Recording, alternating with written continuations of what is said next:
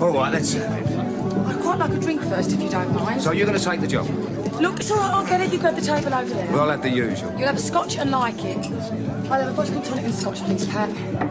Oh, you look like you got the amp and all. What's up? Yeah, well, put it this way, Kath, 89 can't come quick enough for me. Hurry up, Kath. Haven't got all day. Oh, it's Master's voice. Hasn't changed. All sound like a great record. Hi, Mum. Hi, Dad. Yeah, anybody seen the Airless Hitler? Oh, he's in the public. I wondered how old Baldy would give us a gig, eh? Oh, what if we say you're our agent, Mum? I'm enough trouble as it is. Oh, yeah, where's Elizabeth? Oh, she said she'd gone shopping.